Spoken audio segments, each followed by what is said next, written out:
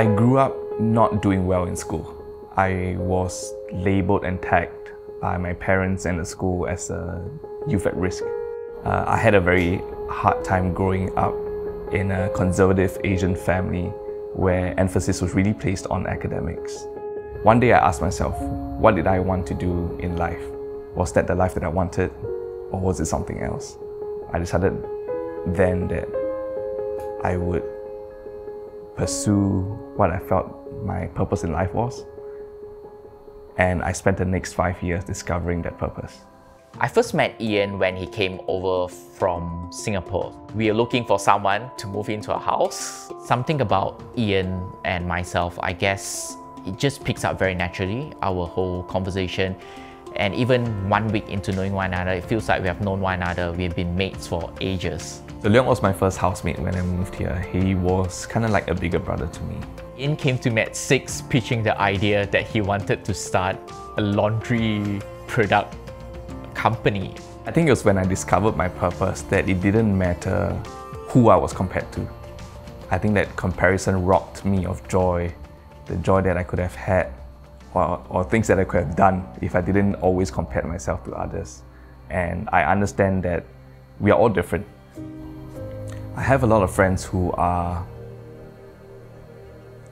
labeled handicapped. I have a very good friend, Rena, and she's the sweetest lady that I, that I know, and she lost her, her eyesight in her prime years, and that destroyed her life.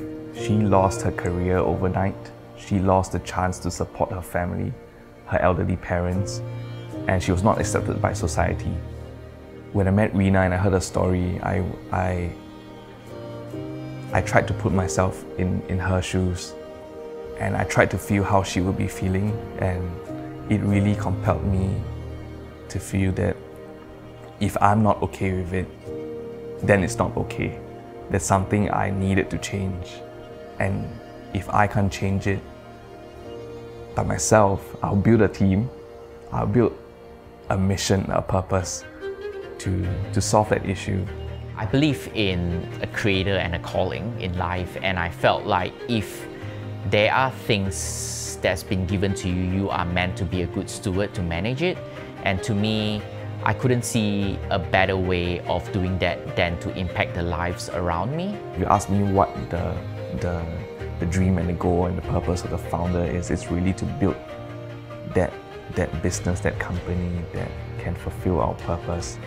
Uh, we're launching a few new products in the next few years. What it looks like is we're trying to penetrate the global denim market, but at the same time, we're trying to remove the stigma from hiring workers with disabilities by hiring them, training them, empowering them, and showing the world that it's okay for global business to hire someone who is not seen as productive, be productive, and be the best version of themselves.